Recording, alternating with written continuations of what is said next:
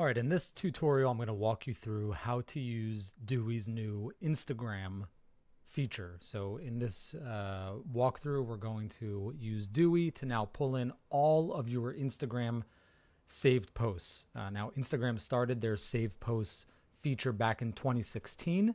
So that means that we're coming up on probably a decade of saved posts for most of you, um, where it's probably just been locked away inside of Instagram's save post feature, never to be looked at again. So today we're going to pull them out and I'm going to walk you through how to do that with Dewey.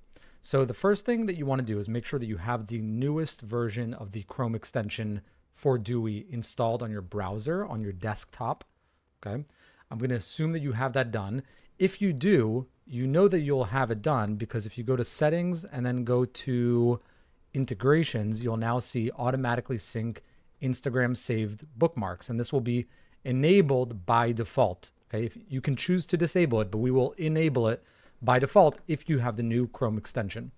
So we're going to go into Instagram and I'm going to just start saving a few different posts. Okay. Uh, let's save that. Great. And if I head over to my profile, I click on saved and now I see all of my posts. Now I can click grab save post just to be safe, but Dewey's going to do it anyway. Now, the next thing I'm going to show you, once this all ingests, I'll prove to you that it's pulled into Dewey, is we're then going to create collections, which are Instagram's version of folders for saved posts.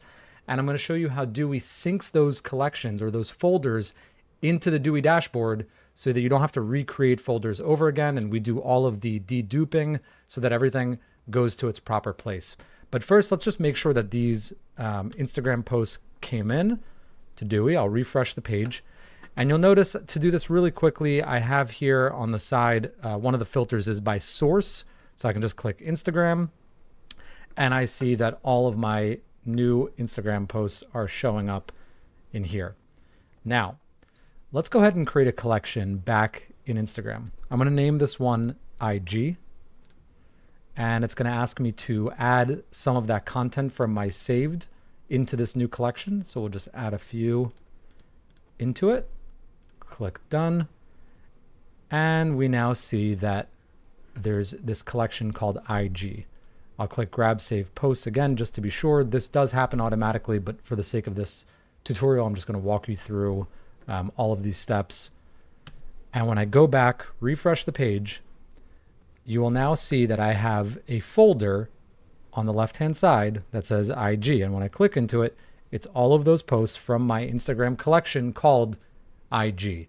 Um, when I go back into unsorted, okay, and I just click on Instagram, I will then see all of my other Instagram saved posts that don't belong to a collection or to a folder inside of Dewey.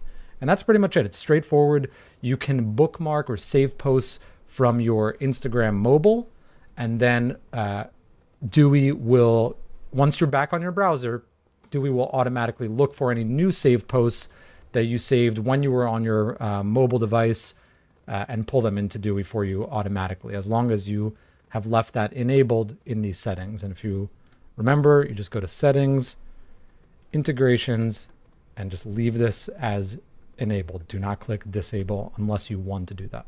So that's it. Enjoy.